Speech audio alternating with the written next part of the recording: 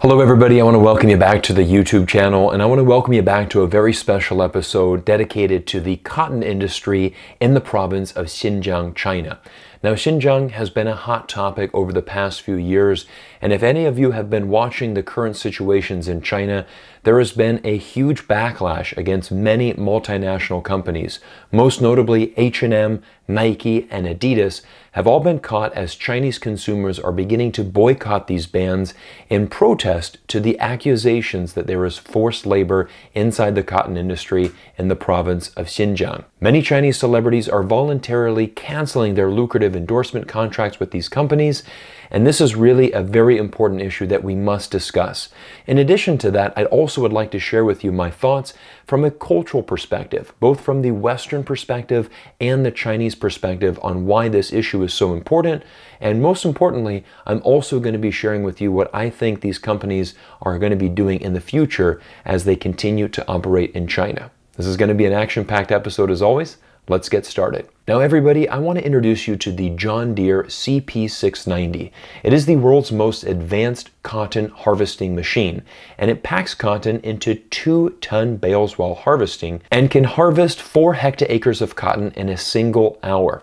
Make no doubt about it, John Deere, the classic American company, is dominating the cotton harvesting industry, and it has also been rewarding its shareholders. Take a look at this graph highlighting John Deere's stock performance over the past five years.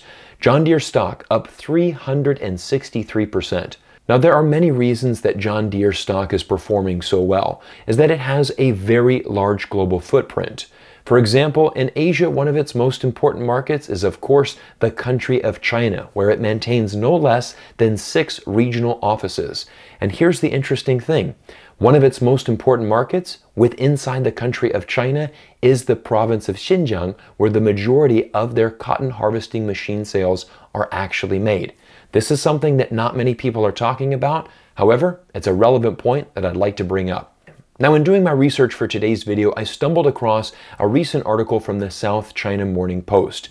It's entitled U.S. Farm Brand John Deere at the Forefront of Surging Cotton Machinery Sales to Xinjiang as Human Rights Sanctions Loom. The article goes on to state that sales of U.S. manufactured cotton harvesting machinery to China have increased by 4,000%. The main reason for the dramatic increase?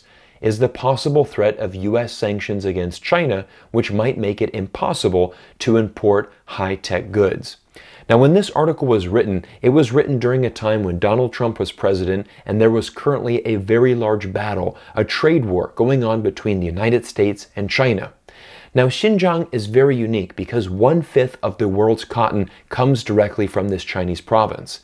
And the cotton industry in China was doing everything they could in their power to make sure that they had access to this American technology.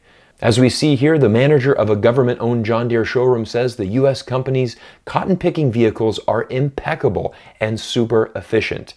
Now at this point, I'd like to introduce you to another YouTube channel. This is called Annie Gu Li, and Annie is a Chinese vlogger that is based in the province of Xinjiang. She is actually of Uyghur descent, and she typically does a lot of daily vlog videos. Now this is a video that Annie posted on her channel over two years ago. Again, long before any of this became a very heated debate. And you can see from this video that Annie takes us to the fields to examine the cotton. She interviews some local farmers that are working within the cotton industry. And of course, she concludes the video by showing us how these John Deere tractors are working in the fields to harvest the cotton. Now, according to Chinese government estimates, up to 70% of all cotton that is harvested in the province of Xinjiang is done so with the use of these mechanical machines. So I'm not going to say that there is no chance that there are any humans actually working these fields. Of course, there are many people employed within this industry in Xinjiang. And again, this is a very important issue, not only for the Chinese community, but also the international world. Obviously, all of us want to source our cotton and buy our shirts, our clothing from ethical and reliable sources. So I think this is something that we really need to start examining from a cultural aspect. Over one year ago, H&M decided to come out and make a statement that they believe that there could be possible forced labor in the fields in Xinjiang. Now, this is a very big accusation, and if a foreign company that's doing business in China is going to make this accusation, they better be 100% sure that their statements are completely accurate. But I want to give you an example of how other Western companies will typically respond to an accusation like this. For example, earlier this year, the social media network Twitter decided to ban Donald Trump from its social network. But here's the amazing thing. Within 24 hours of Trump's removal from Twitter, basically every other social media platform came out and did the exact same thing. From a Western perspective, we do not want our companies to be associated with anything that could potentially give us a bad reputation. And I think this is what you saw happen inside the cotton industry in Xinjiang. H&M came out and decided to make a statement. They said, "We believe that there could be potential violations of human rights and forced labor." Now Nike, Adidas, other foreign companies, immediately alarm bells are going off. They're saying to themselves, well, we don't want to be associated with that. We're going to go ahead and follow the lead. And this is what happened in the situation. Because this is what happens in Western culture. Again, you act very swiftly and very quickly just to make sure that your reputation is not ruined. However, let's look at this from a Chinese cultural perspective. Chinese consumers won't pay for multinational companies' political correctness that caters to the West. The article goes on to state that the ideological conflict between China and the West will be a long time struggle. The West has various methods to discredit the Chinese government, but it lacks tactics to deal with Chinese public opinion. This is an important point that I do want to discuss, and this is Chinese public opinion. For example, if you are a foreign company that comes into China and you make accusations against China, you must be 100% sure that these accusations are true and verified. And I don't believe that this is what these companies have done. Again, from a Western perspective, if there is even a rumor that there is a potential for forced labor, most Western countries are simply going to, you know, agree with that. They're going to agree with that because they don't want to lose their reputation. However, it's really important to understand in China, you cannot be doing business in China and be just be throwing out false accusations. Again, you must do your research. Interesting enough, I was able to find a US company that has done their research in regards to this issue. This is the US footwear brand Skechers, who has publicly stated that they have found no evidence of Xinjiang forced labor. Skechers went out and hired independent auditors to come and have announced and unannounced visits to their factories.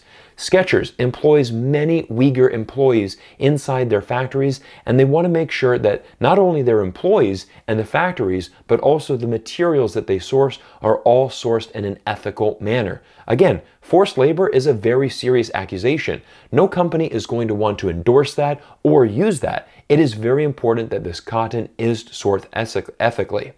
However, it's really important for these companies to do their due diligence and to act exactly like Skechers has done. Now, some Westerners have actually criticized Chinese social media for being the responsibility of this large boycott. For example, the statement that H&M made about forced labor is over 12 months old. This is not a recent statement that they made. However, it was available on social media, it was publicly posted on their website, and again, even though it was made in the past, doesn't mean that it is not relevant for the future. And this is something that we often see in Western media as well. Let me give you an example of American comedian Kevin Hart. A few years ago, he was given the chance to be the host of the Oscars. Obviously, a tremendous honor for his career. However, just before he was getting ready to host, somebody found some homophobic tweets that he sent out many years prior. Immediately, the Oscars came out and canceled Kevin Hart. This is something that is not only happening in China, but in America and around the world. Now, in conclusion, I hope everybody can see how important it is to understand the cultural elements of this discussion and why doing in business in China is really so difficult and why you truly need good consultants and good experts to advise you on how to operate inside the country of China. China remains one of the most incredible markets in the world, and Chinese consumers love international brands. But there must be mutual respect. Foreign companies cannot come into the country of China, want to benefit from the market, and then also accuse China of doing things that are not true. If there is truth into this, there must be clear evidence for these reasons. That is the important cultural element that people must understand.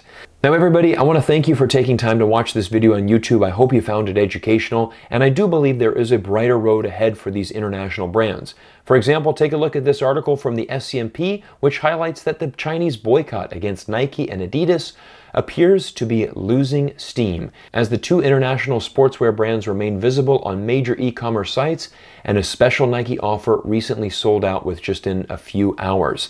Again, there's an exciting time for China in the future. Beijing is hosting the 2022 Winter Olympics. Nike, Adidas, many of these brands will be front and center as they work with Chinese athletes to bring in one of the most special events of the, you know, of the world, the Olympics. Anyways, I hope you enjoyed today's video. Comment down below, let me know what you thought, and I look forward to seeing you in a future video.